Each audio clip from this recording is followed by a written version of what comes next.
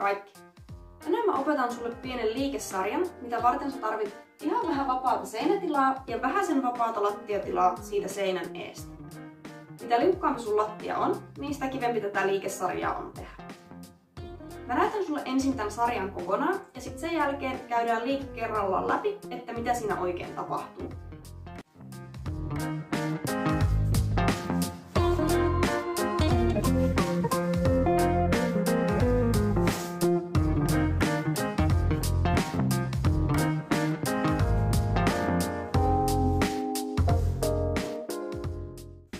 Tässä ensimmäisessä liikkeessä toinen käsi tulee seinälle ja toinen käsi tulee lattiaan. Sormet osoittaa suunnilleen tonne menosuuntaan. Ihan aluksi voi kokeilla vaan kävellä sieltä käsien välistä tonne istumaan ja sitten myöhemmin kokeilla, että voisiko sieltä pujahtaa niin, että varpaat ei osu ollenkaan maahan. Sitten kun oot siellä istumassa, niin lähdetään kellahtamaan taaksepäin sillä että paino tulee yläselälle. Nyt se jalka, joka oli istuessa kauempana seinästä, tulee sinne seinään kiinni.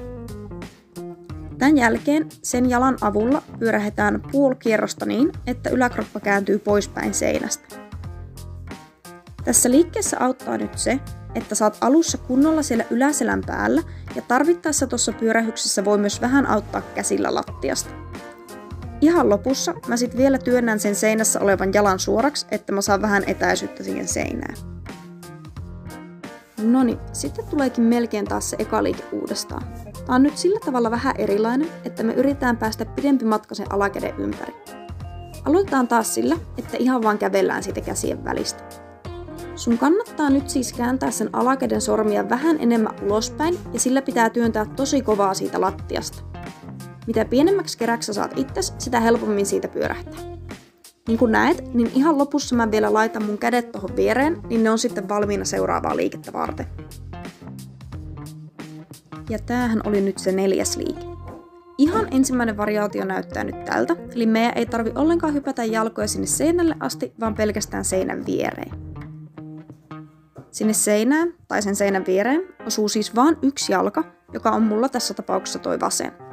Sitten kun sieltä seinältä hypätään toiselle puolelle käsiä, niin lattiaan osuu ainoastaan se toinen jalka, eli mulla se on tässä tapauksessa oikea. Vasen jalka pujahtaa sitten tuolta käden ja jalan välistä ja lopulta päädytään sitten taas istumaan. Tämä viimeinen liike on vähän helpompi, jos sen tekee nopeasti ja sulla on luistava lattia, mutta onnistuu kyllä tollain hitaampanakin.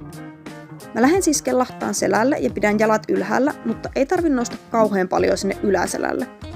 Tällä kertaa jalat ei osu seinää ollenkaan, vaan mä pyörähän ympäri työntämällä käsillä. Sitten kun työntää tarpeeksi paljon, niin pääsee sieltä aika kätevästi takaisin istumaan joko suoraan tai pikkasen toisen kyljen kautta. Voi kokeilla tehdä vähän jalat koukussa tai ihan suorana ja sitten vaihella sitä, että onko ne kiinni toisiinsa vai enemmän haarassa. Ja tässä näkyy vielä koko sarja. Sitten kun saat sen onnistumaan, niin seuraava haaste on opetella se myös toiselle puolelle. Kivoja treenejä!